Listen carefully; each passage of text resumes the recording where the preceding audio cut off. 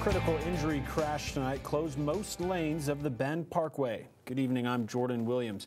Bend police say a 42-year-old pedestrian was struck by a semi-truck around 715. Police provided first aid to the Bend man before fire medics rushed him to St. Charles Bend.